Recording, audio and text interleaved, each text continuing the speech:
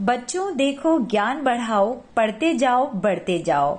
शिक्षा दर्शन, जी हाँ पढ़ाई के साथ मस्ती भी। यह है शिक्षा विभाग, राजस्थान सरकार द्वारा बच्चों को टीवी के माध्यम से पढ़ाई का अपना एक अनूठा रोचक कार्यक्रम है।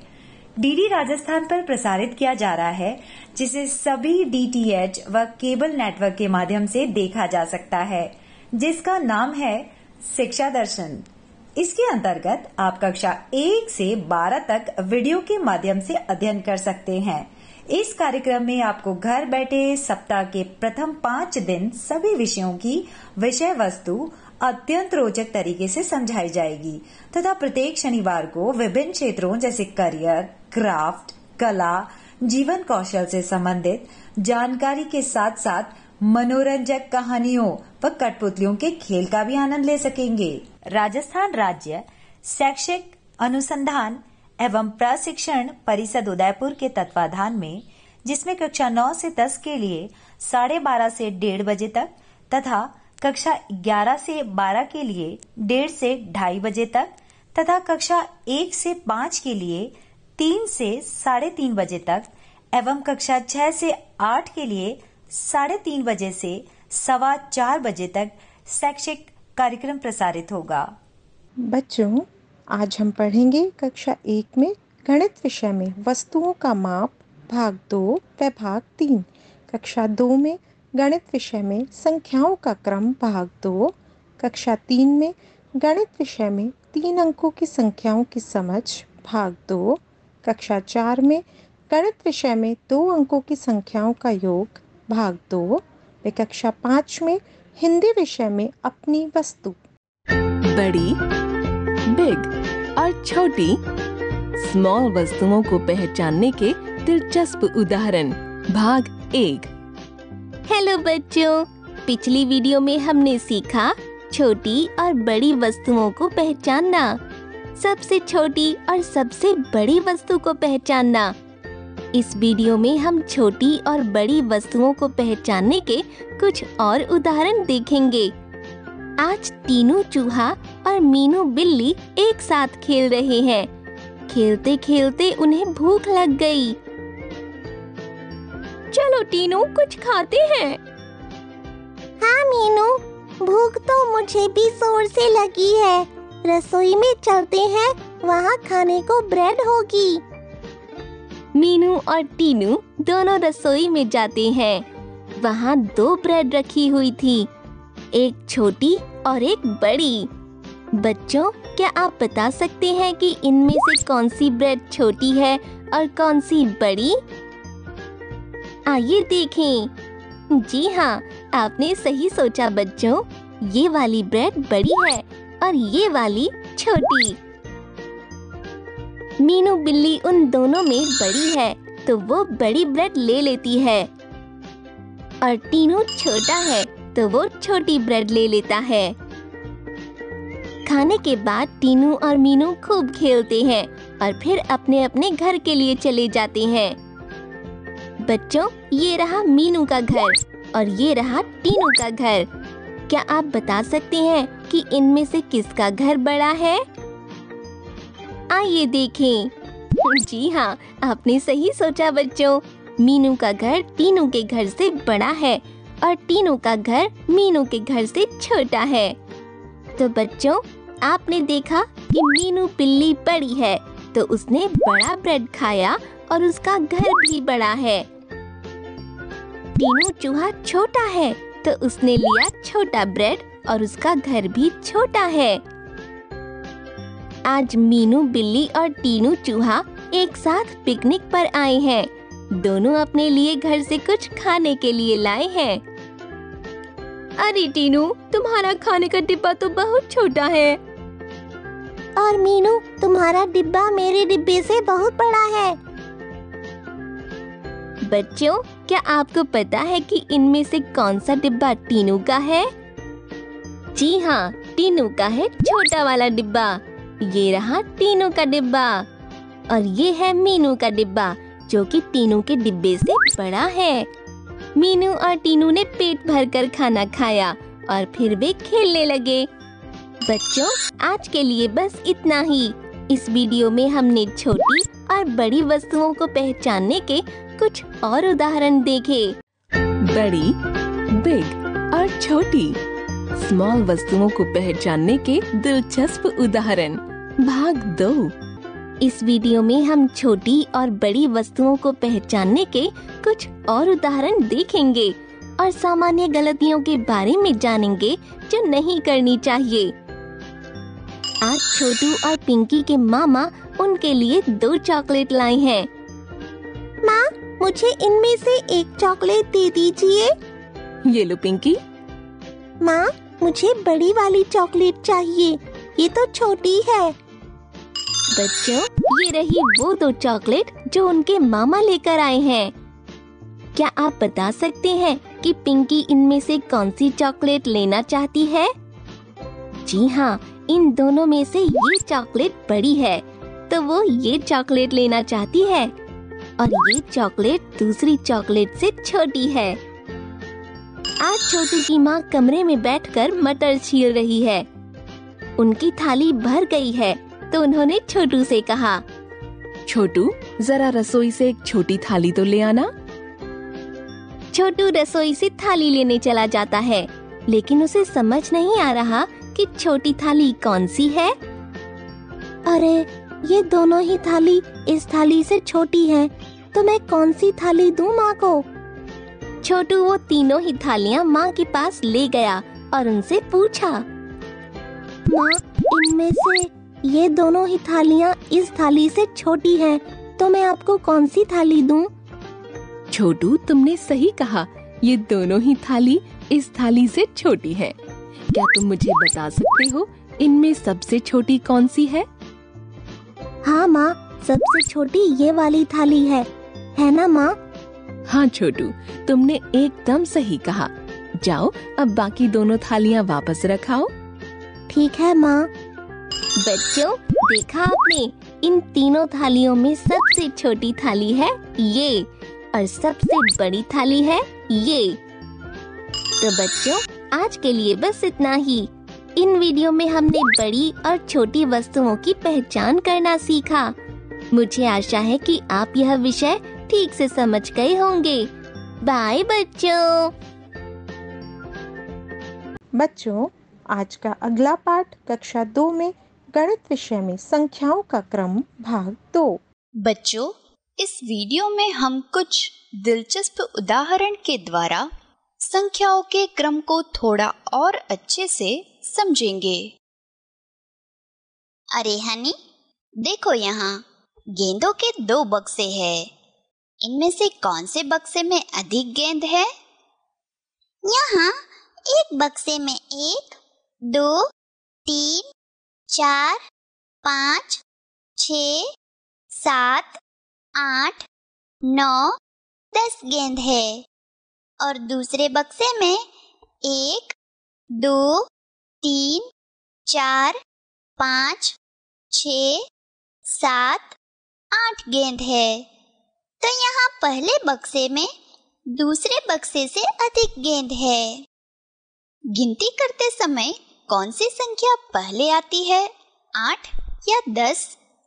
हाँ गिनती करते समय आठ पहले बोलते हैं तो आठ पहले आएँगे। बिल्कुल सही, क्योंकि आठ दस से छोटी संख्या है, इसलिए हम आठ को पहले बोलते हैं, फिर दस को। अब ये बताओ हनी, कि दोनों बक्से में कुल मिलाकर कितनी गेंद है? दोनों बक्से में कुल मिलाकर दस और आठ अठारह गेंद है। अब मैं यहाँ तीसरा बक्सा रखती हूँ। इसमें नौ गेंद है। अब ये बताओ कि दिए हुए तीन बक्सों में कौन से बक्से में सबसे कम गेंद है? यहाँ पहले बक्से में दस, दूसरे बक्से में आठ और तीसरे बक्से में नौ गेंदे हैं। एक से दस की गिनती करते समय आठ, नौ और दस से पहले आता है। हम देख सकते हैं कि सबसे छोटी संख्या यहाँ आठ है। इसलिए दूसरे बक्से में सबसे कम गेंद है और सबसे बड़ी संख्या यहाँ दस है। इसलिए पहले बक्से में सबसे अधिक गेंदे हैं। शाबाश, हनी। चलो, अब ये बताओ कि क्या तुम बता सकते हो कि दस, आठ, नौ को हम गिनती के अनुसार कैसे बोलते हैं? हाँ गिनती करते समय आठ पहले बोलते हैं, फिर नौ और दस बोलते हैं। बिल्कुल, हनी। इसे आठ, नौ, दस के क्रम में बोला जाता है। वाह, सही बात है। चलो, अब हम सब चलते हैं। बच्चों, उम्मीद है आपको कम या अधिक संख्याओं के बारे में समझ आ गया होगा और आप गिनती के क्रम को भी अच्छे से समझ चुके होंगे। अगली वीडियो में कुछ और उदाहरण देखेंगे। बच्चों आज का अगला पाठ कक्षा तीन में गणित विषय में तीन अंकों की संख्याओं की समझ, भाग दो। बच्चों, क्या आपको अप्पू की मार्केट की सैर याद है? हमने पिछले पाठ में समूह के द्वारा तीन अंकों के संख्याओं को जल्दी गिनना सीखा। बच्चों, जैसे हमने बतख चाचा के थैलियों की मदद से तीन अंकों की संख्या को सौ, दस और एक के समूहों में लिखना सीखा, ठीक उसी तरह से हम किसी तरह तीन अंकों की संख्या को सौ, दस और एक के समूह में लिख सकते हैं। आइए, इसका एक और उदाहरण देखें। मान लो, आपको दो सौ इक्यासी अंडे, सौ, दस और एक के समूहों में गिनने हो। तो आप पहले दो सौ इक्यासी को विस्तारित रूप में लिखें। और फिर ध्यान दें तो पाएँगे कि 200 सौ के दो समूहों से बनता है 80 दस के आठ समूहों से, और एक अंडा किसी समूह में नहीं आ पाता। आइए, अब इस पाठ में हम अप्पू की जन्मदिन की तैयारी कहाँ तक पहुँची, ये देखें। और तीन अंकों की संख्या को समूह से पहचानना सीखें। जन्मदिन की तैयारी के लिए अप्पू चंदा के फूलों की दुकान पर जा रहा है। चंदा फूलों को बड़ी सौ फूलों की मालाओं, छोटी दस फूलों की मालाओं और खुले फूल भी बेचती है। अप्पू को चंदा ने तीन सौ फूलों की मालाएँ, दो दस फूलों की मालाएँ और सात खुले फूल उसके घर को सजाने के लिए दिए हैं। अप्पू ये सोच सोच के परेशान है कि चंदा ने उसे कुल कितने फूल दिए हैं? आइए देखें, ये कौन सी संख्या है? यदि हम तीन सौ फूलों की मालाओं को जोड़ें तो कुल तीन सौ फूल हुए। अब हम दो दस फूलों की मालाओं को जोड़ेंगे तो कुल बीस फूल हुए और हमारे पास सात खुले फूल हैं। अब हम विस्तारित रूप से संख्या लिखने की प्रक्रिया की मदद से संख्या को पहचान सकेंगे। इस तरह चंदा ने अप्पू को कुल 327 फूल दिए हैं। अब अप्पू अपने मेहमानों के लिए लड्डू ले जाना चाहता है। हर मेहमान के लिए उसे एक लड्डू चाहिए। उसने छह सौ लड्डू के बॉक्स लिए, चार दस लड्डू के बॉक्स लिए और तीन खुले लड्डू लिए। क्या आप बता सकते हैं कि अप्पू के घर कितने मेहमान आने वाले हैं? आइए, इसे एक साथ करते हैं। छह सौ लड्डू के बॉक्स में छह सौ लड्डू हैं। चार दस लड्डुओं के बॉक्स में कुल चालीस लड्डू हैं। और तीन खुले हैं। अब विस्तारित रूप से हम संख्या को लिखेंगे और 643 संख्या तैयार है। अरे वाह! अप्पू की पार्टी में 643 मेहमान आने वाले हैं। चलो आप और हम भी चलें। अप्पू अपनी पार्टी धूमधाम से मना रहा है। तो बच्चों आज हमने तीन अंकों की संख्या के समूह से पहचानना सीखा।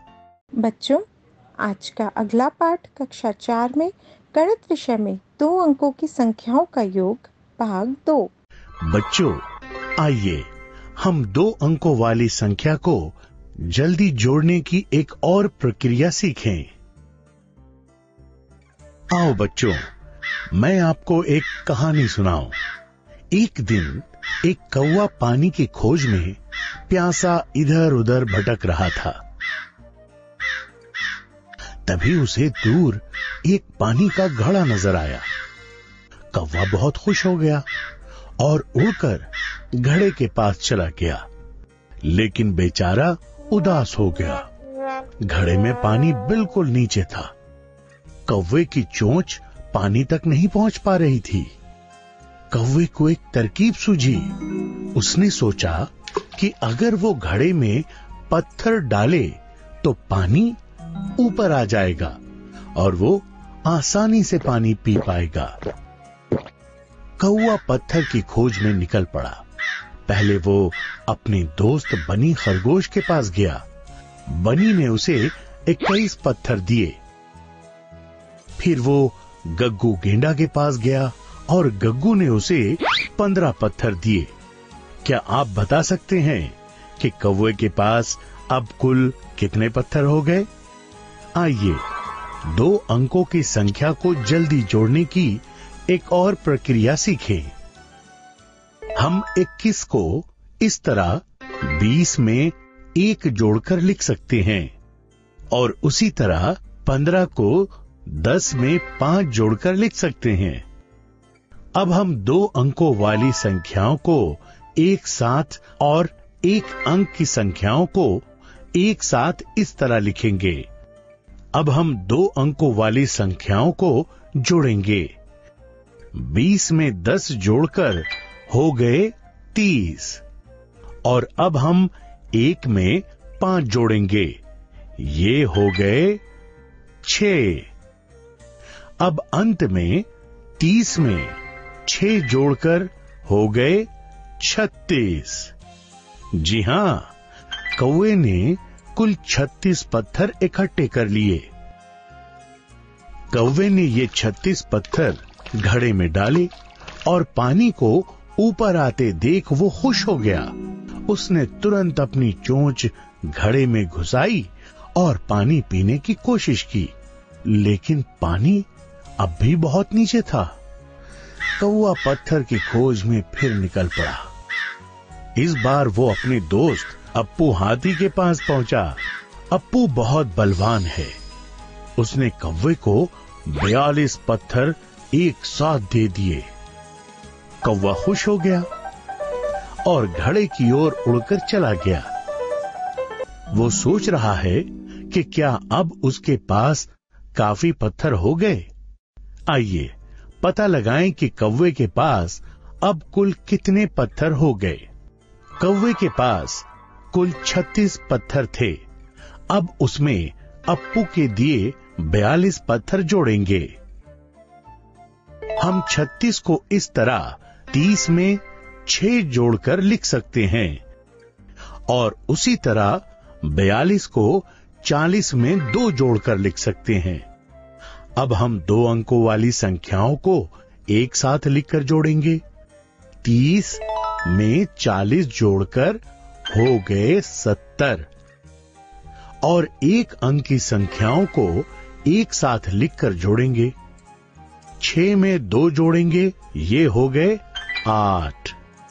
अब अंत में सत्तर में आठ जोड़कर हो गए अठहत्तर। जी हाँ, कौवे ने अब कुल अठहत्तर पत्थर इकट्ठा कर लिए। कौवे ने अप्पू के दिए पत्थर घड़े में डाले। अरे वाह, पानी ऊपर आ गया। कौवा बहुत खुश हो गया। उसने तुरंत अपनी चोंच घड़े में डाली और अब वो पानी पी सकता था। उसने घड़े से पानी पिया और खुशी खुशी अपने घर उड़ चला गया। बच्चों इस पाठ में हमने दो अंकों वाली संख्या को जल्दी जोड़ने की प्रक्रिया सीखी। बच्चों आज का अगला पाठ कक्षा पाँच में हिंदी विषय में अपनी वस्तु। तो बच्चों आज हम आपके लिए लाए हैं क्लास पाँच का पाठ नंबर तीन, जिसका शीर्षक है अपनी वस्तु। आइए देखते हैं कि इस पाठ में लेखक ने किस प्रकार की कहानी यहाँ प्रस्तुत की है और वो क्या सीख हमें इस पाठ के माध्यम से देना चाहते हैं। तो चलिए पढ़ना शुरू करते हैं पाठ। एक महात्मा जी कहीं जा रहे थे। मार्ग में, यानी रास्ते में। मार्ग में उन्होंने एक स्थान पर दो व्यक्तियों को ऊँची आवाज़ में बोलते सुना। बच्चों, आप जानते हैं कि जब दो व्यक्ति आपस में लड़ाई, झगड़ा करते हैं या उनमें कोई ना इतफाक़ी हो जाती है, किसी बात पे झगड़ा होता है तो वो लोग ज़ोर ज़ोर से बोलना शुरू कर देते हैं। तो वही लेखक ने यहाँ कहा है कि दो व्यक्ति रास्ते में खड़े थे और दोनों ऊँची आवाज़ में बात कर रहे थे। तो इस समय पता चला कि दोनों के बीच कोई ना कोई विवाद था या कोई लड़ाई थी। दोनों ही हाथों में लठ लिए, एक दूसरे के प्राण लेने को उद्यत दिखाई देते थे। अब ये बात स्पष्ट हो गई कि लेखक कह रहा है कि दोनों व्यक्तियों के हाथ में लठ थे। लठ आप जानते हैं, पुलिस वालों के हाथ में आपने डंडा देखा होगा, उस डंडे को हम कहते हैं लठ। और प्राण लेने को उद्यत, यानी ऐसा लगता था कि दोनों एक दूसरे को जान से मार डालना चाहते हैं। एक कहता था कि यह भूमि मेरी है, भूमि यानी ज़मीन, और मैं इसका स्वामी हूँ, यानी मैं इसका मालिक हूँ, जबकि दूसरा उस भूमि को अपना, अपनी बतला रहा था। इसका मतलब ये हुआ कि एक ज़मीन का विवाद था, यानी कोई भूमि थी, कोई ज़मीन थी, और दोनों व्यक्ति ये कह रहे थे कि ये ज़मीन मेरी है, ये ज़मीन मेरी है। उस भूमि पर अपना अपना स्वामित्व जतलाने के लिए दोनों ही क्रोध से लाल पीले हो रहे थे। बच्चों, आप यहाँ देखें कि एक मुहावरा है, लाल पीले होना।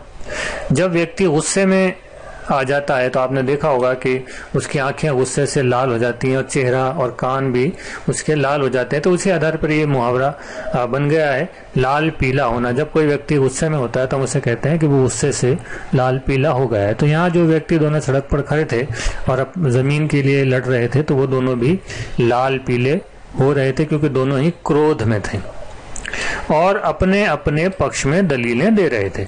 यानी दोनों ही ये साबित करने की कोशिश कर रहे थे कि ये ज़मीन मेरी है और इसके पक्ष में दोनों ही प्रमाण या दलीलें प्रस्तुत कर रहे थे। संत महात्मा तो स्वभाव से ही दयालु एवं परोपकारी होते हैं। सदैव सबका भला ही चाहते हैं। उन्होंने मन ही मन विचार किया कि ये दोनों लड़ाई झगड़ा करके व्यर्थ ही अपने प्राण गंवाने पर तुले हुए।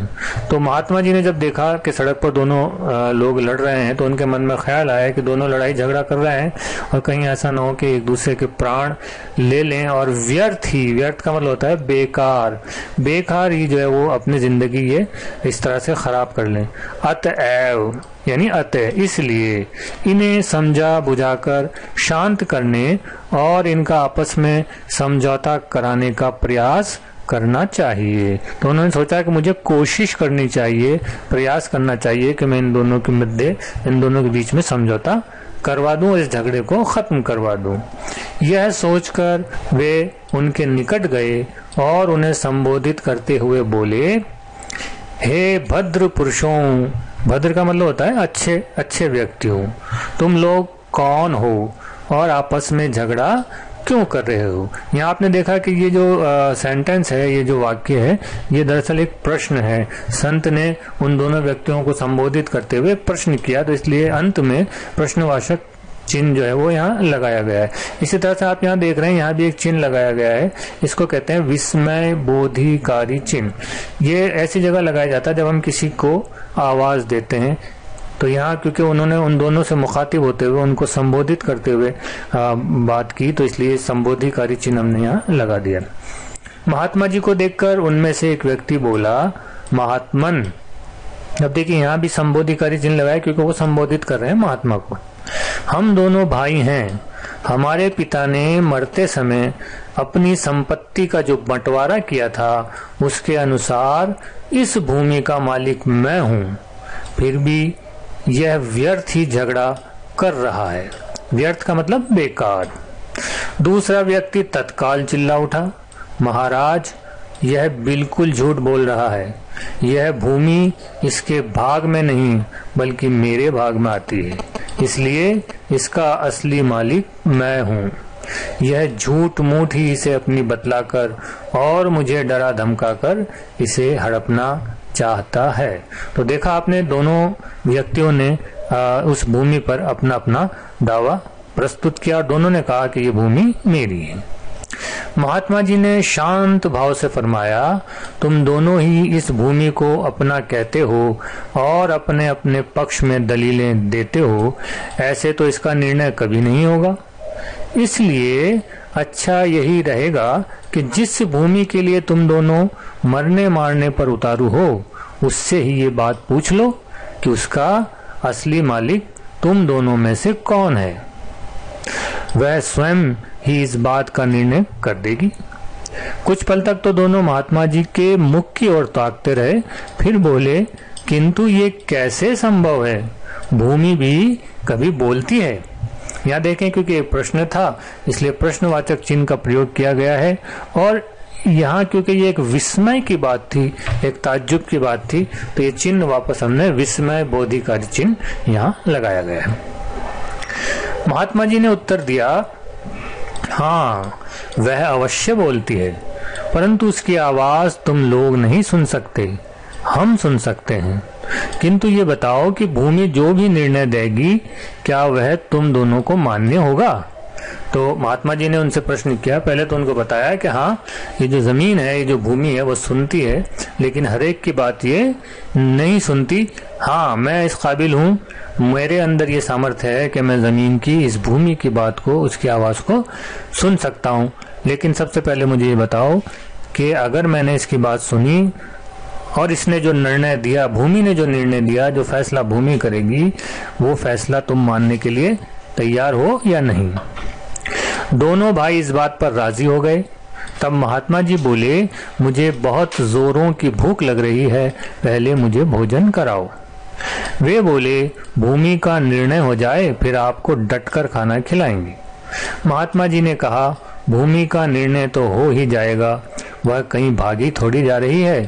पहले भोजन हो जाए, ताकि मन मस्तिष्क कुछ ठिकाने आए। इसलिए तुम दोनों अपने घर से भोजन ले आओ। तब तक हम यहीं बैठे हैं। यह कहकर महात्मा जी पेड़ की छाया में बैठ गए। दोनों भाई घर गए और अपने अपने घर से भोजन बनवा कर ले आए। महात्मा जी ने उन दोनों को बैठ जाने को कहा तत्पश्चात उन्होंने भोजन के तीन भाग किए और दोनों भाइयों को भोजन करने का आदेश देकर स्वयं भी भोजन करने लगे। इस प्रकार ऊपर की सब बातचीत तथा भोजन आदि में लगभग दो घंटे लग गए। महात्मा जी का इस समस्त कार्यवाही का उद्देश्य केवल यह था कि दोनों का क्रोध कुछ कम हो जाए ताकि उन्हें समझाया बुझाया जा सके और हुआ भी यही। वे दोनों जब भोजन से निवृत्त हुए तो काफ़ी शांत थे। उन्होंने महात्मा जी के चरणों में विनय की, महाराज, यह भूमि तो कुछ बोलेगी नहीं, इसलिए आप ही हमारा निर्णय कर दीजिए। महात्मा जी ने कहा, हम इस भूमि से पूछकर इसका निर्णय करते हैं। यह कहकर उन्होंने अपना कान भूमि के साथ लगाया। मानो कुछ सुनने का प्रयत्न कर रहे हों। कुछ देर तक तो वे भूमि के साथ कान लगाए रहे, फिर सीधे बैठ गए और गंभीर वाणी में बोले, ये भूमि तो कुछ और ही कह रही है। दोनों भाई बोले, महाराज, भूमि क्या कह रही है? महात्मा जी ने कहा, यह भूमि कहती है कि ये दोनों व्यर्थ ही मेरे ऊपर अधिकार जमाने के लिए झगड़ा कर रहे हैं, क्योंकि मैं इन दोनों में से किसी की भी नहीं हूँ। हाँ ये दोनों अवश्य मेरे हैं। मैंने इनकी कई पीढ़ियों को पाला है और जाते हुए भी देखा है। महात्मा जी की बात सुनकर दोनों भाई बड़े लज्जित हुए और महात्मा जी के चरणों में गिर पड़े। महात्मा जी ने लोहा गर्म देखकर चोट की और उन्हें समझाते हुए कहा, तनिक विचार करो कि जिस भूमि के लिए तुम लोग आपस में लड़ रहे हो, झगड़ा कर रहे हो, क्या वह आज तक किसी की बनी है जो तुम लोगों की बन जाएगी? मनुष्य मेरी मेरी कहकर व्यर्थ यत्न करता है, यानी बेकार कोशिश करता है। यह नहीं सोचता कि इनमें से कुछ भी मनुष्य का अपना नहीं है। बड़े बड़े छत्रपति राजा भी इन्हें अपना अपना कहकर चले गए, परंतु साथ क्या ले गए? कुछ भी नहीं। वे जैसे खाली हाथ संसार में आए थे, वैसे ही खाली हाथ इस संसार से चले गए। तुम लोग भूमि के छोटे से टुकड़े के लिए झगड़ा करके अपने अनमोल जीवन को नष्ट करने पर क्यों तुले हो? यह भूमि ना तुम्हारी है और ना ही तुम्हारी बनेगी। भूमि ही क्या? संसार के जितने भी पदार्थ हैं, धन संपत्ति है, मकान आदि हैं, और इनमें से कुछ भी तुम्हारा नहीं है। तुम्हारी अपनी वस्तु तो केवल भोजन भक्ति और तुम्हारे अच्छे कर्म हैं, जो लोक परलोक के संगी साथी हैं। शेष सब कुछ तो यहीं रह जाता है। अतएव आपस में लड़ने, झगड़ने और मनुष्य जन के मूल्यवान समय को व्यर्थ नष्ट करने की अपेक्षा जीवन को अच्छे कर्मों और नाम सुमिरन में लगाओ, ताकि तुम्हारा लोक परलोक संवर जाए। दोनों ने महात्मा जी के चरणों में गिरकर अपनी भूल के लिए क्षमा मांगी। उस दिन से सबके साथ प्रेम का व्यवहार करते हुए, अपने समय को भजन भक्ति में लगाते हुए अपना जन्म सफल करने लगे। तो बच्चों, देखा आपने कि एक महात्मा जी के माध्यम से इस पाठ में ये समझाया गया है कि हमें भौतिक वस्तुओं, दुनिया की चीज़ों से मोहब्बत नहीं करनी चाहिए, बल्कि भजन और भक्ति में अपना ध्यान लगाना चाहिए, क्योंकि दुनिया की ये चीज़ें हमारे साथ नहीं जाती। आज के लिए बस इतना ही। धन्यवाद। बच्चों आज हमने पढ़ा है कक्षा एक में, गणित विषय में वस्तुओं का माप, भाग दो व भाग तीन। कक्षा दो में, गणित विषय में संख्याओं का क्रम, भाग दो। कक्षा तीन में, गणित विषय में तीन अंकों की संख्याओं की समझ, भाग दो। कक्षा चार में, गणित विषय में दो अंकों की संख्याओं का योग, भाग दो। व कक्षा पाँच में, हिंदी विषय में अपनी वस्तु। बच्चों कल हम पढ़ेंगे कक्षा एक में गणित विषय में एक से दस तक गिनना, कक्षा दो में गणित विषय में संख्याओं का क्रम भाग तीन, कक्षा तीन में गणित विषय में तीन अंकों की संख्याओं की समझ भाग तीन, व कक्षा चार में अंग्रेज़ी विषय में अ ब्रेव ट्राइबल गर्ल बच्चों, हमारे इस कार्यक्रम के कंटेंट पार्टनर हैं सेंट्रल स्क्वायर फाउंडेशन इसके अतिरिक्त शिक्षा विभाग के शिक्षक श्री अकमल नईम जी ने आज के वीडियो में अपना योगदान दिया है तथा इस कार्यक्रम में तकनीकी सहयोग UNICEF Sterlite Ed India foundation एवं पीरामल फाउंडेशन द्वारा प्रदान किया जा रहा है। बच्चों, आपको ये कार्यक्रम कैसा लगा? अपना सुझाव अवश्य दें। कार्यक्रम से संबंधित आपके मन में यदि कोई सुझाव आता है या किसी भी तरह की शंका हो तो आप हमें ईमेल कर सकते हैं और डाक द्वारा भेज सकते हैं। हमारा ईमेल एड्रेस है फीडबैक डॉट शिक्षा दर्शन दो शून्य दो एक at the rate gmail dot com और डाका एड्रेस है निदेशक राजस्थान राज्य शैक्षिक अनुसंधान एवं प्रशिक्षण परिषद 111 सहेली मार्ग सहेलियों की बाड़ी के सामने उदयपुर। इकतीस तीस ज़ीरो एक।